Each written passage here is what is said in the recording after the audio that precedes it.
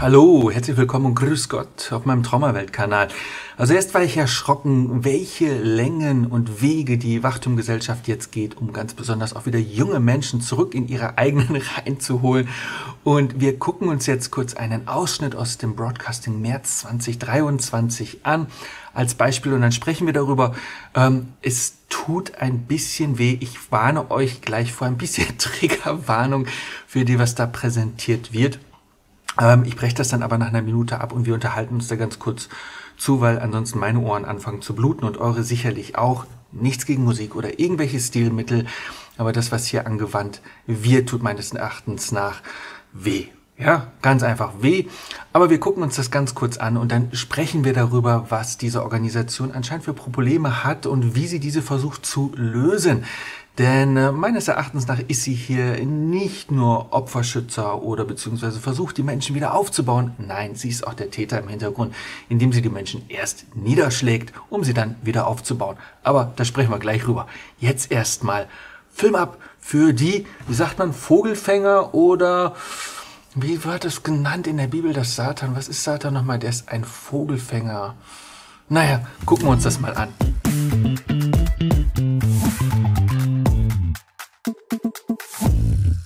Ist es nicht schön, dass Jehova für alles sorgt, was wir brauchen, damit wir wieder auf die Beine kommen, wenn wir stolpern?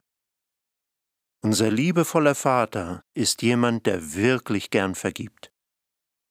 In unserem neuesten Musikvideo sehen wir, wie viel Jehova an denjenigen liegt, die sich von ihm entfernt haben.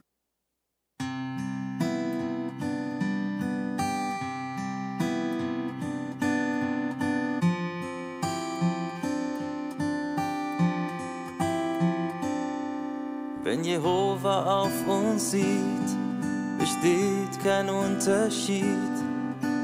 Wir sind vor ihm gleich und machen Fehler jeden Tag. Es schlicht sich leise ein und du fielst darauf herein. Schenk mir einen Augenblick, ich zeige dir, dass Gott dich weiter liebt. Fang mit ihm. Also ja, ja.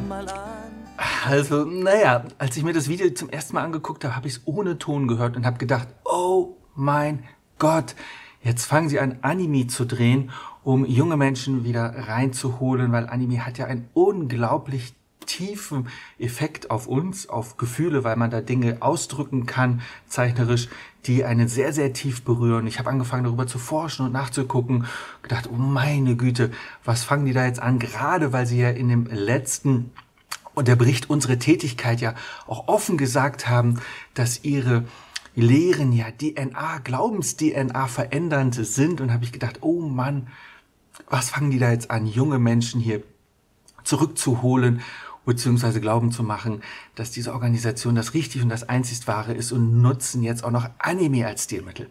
Aber als ich das dann gehört habe, dass das ein Musikvideo gemacht wurde mit ähm, ja mit dem Gesang dahinter, ich habe es im Englischen sowohl im Deutschen angehört, es wurde nicht besser meines Empfindens nach. gedacht, oh, ob das die junge Generation anspricht, ich weiß es nicht, mich spricht es nicht an. Aber ich sage, die Botschaft ist hier ganz klar. Du bist verloren. Und ich lasse das Video ja ganz bewusst weiterlaufen. Guckt euch das an nebenbei.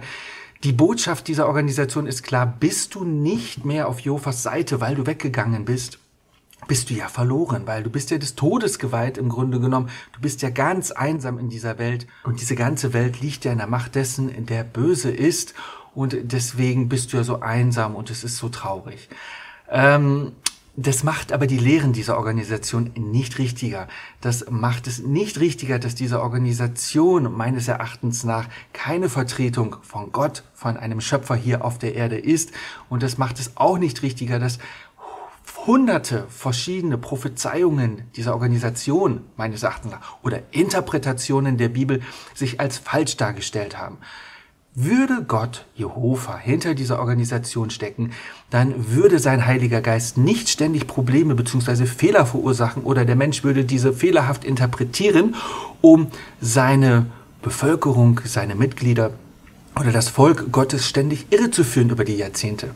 Aber dieses gesamte Bild, das können junge Menschen meines Erachtens nachher, oder ich konnte es auch nicht überblicken, weil man ja noch gar nicht so alt ist. Ja, man weiß nicht, dass 1879, das 1914, 1899, 19 8, äh, 1918, 1925, 1931, 1975, überall es immer direkte oder indirekte Voraussagen dieser Organisation gab, entweder in Form der Bibelforscher oder später Jehovas Zeugen in ihrer Literatur, den Jahrbüchern oder Wachtum und Erwachet oder anderen Publikationen gab es immer wieder Voraussagen, dann kommt das Ende, dann hat diese Generation geendet, von der Jesus sagte, dass sie das Ende sehen wird oder auf keinesfalls vergehen wird. Nein, das sind alles falsche Interpretationen von Menschen, die sich das wünschen und sich selbst den Anschein geben und sagen, nein, wir stehen in einem ganz besonderen Bunde zu Gott. Wir sind Gesalbte Gottes. Wir haben den Heiligen Geist eine Ecke mehr als alle anderen und deswegen verstehen wir die Tiefen, die Längen, die Breiten und die Höhen dieser der Bibel noch ein bisschen besser. Ihr lieben jungen Leute, das macht es nicht richtiger. Diese Organisation hat nach meinen Erforschungen und nach den vieler, vieler anderen da draußen nicht den Segen Jehovas. Sie ändern ständig wieder ihre Lehren. Und dass du dich da draußen einsam fühlst, ja, das liegt daran, dass diese Organisation mit ihrer Ächtungspolitik Täter ist, ja. Die Bibel und meines Erachtens nach auch Jesus hat so ein Bild überhaupt nicht geprägt, dass man ehemalige Mitglieder oder Menschen, die eine andere Weltanschauung äh, sich aneignen über die Jahre, dass man diese behandeln sollte wie Dreck. Das verursacht nämlich die Schmerzen, die junge Menschen erleiden, die auch in diesem Musikvideo propagiert werden und wo gesagt wird, ach, du bist nicht alleine, du kannst doch wieder aufstehen. Entschuldigung, hier verkauft sich jemand als Arzt, der dir vorher das Gift gegeben hat, um dir dann wiederum die Heilung zu verkaufen. Oder man könnte es anders sagen, es ist wie ein Feuerwehrmann, der es das Feuer gelegt hat, um es dann wieder löschen zu können. Diese Organisation missbraucht meines Erachtens nach die Bibel, um Mitglieder abzustrafen, um sich weiter zu isolieren. Deswegen diese Ächtungs- und Meidungspolitik, die ja jetzt nicht nur in Japan und Norwegen und anderen Ländern hier massiv untersucht wird, weil sie zu sehr starken psychischen Problemen führt bei ihren Mitgliedern und weil ganz viele Mitglieder auch gefangen sind in dieser Organisation. Wir haben es vielfach diskutiert hier auf dem Kanal. Aber interessant ist, was der liebe Bruder, jetzt sage ich schon lieber Bruder, aber der Herr Harold Cochran äh, zum Schluss dieses Musikvideos sagt, Ja, dann wird alles gut.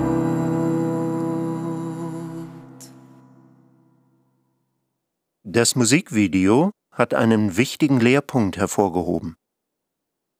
Wir können wieder aufstehen. Das ist keine übertriebene Erwartung, weil Jehova uns dabei hilft. Ja, warum muss man denn wieder aufstehen? Warum ist man denn gestolpert? Kann es sein, dass man unglaublich tiefentraurig ist, weil man von seinen ehemaligen anscheinenden Freunden und Familie wie tot behandelt wird? Oder weil man sich wirklich mit seinem Tod jetzt auseinandersetzen muss, weil man vorher in der Traumblase gelebt hat, mal ewig leben zu können und jetzt versteht, Moment mal, wenn diese lehrende Organisation, diese Interpretation der Bibel nicht richtig sind, ja, meine Güte, dann lebe ich ja wirklich nur 60, 70, 80, 90 Jahre. Und wie viel Zeit habe ich eigentlich vergeudet?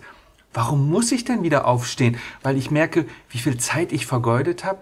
Und warum muss ich denn wieder aufstehen? Vielleicht, weil ich merke, dass ich ziemlich asozial erzogen worden bin, weil ich immer das Bild hatte, dass alle Menschen da draußen böse sind von Satan. Hier mal wieder der Matrix-Vergleich. Jeder könnte im nächsten Moment der Mr. Smith sein. Und weil man merkt, Moment mal, so böse ist die Welt da draußen gar nicht. Das war nur ein Bild, das geprägt wurde von dieser Organisation, um sich zu isolieren.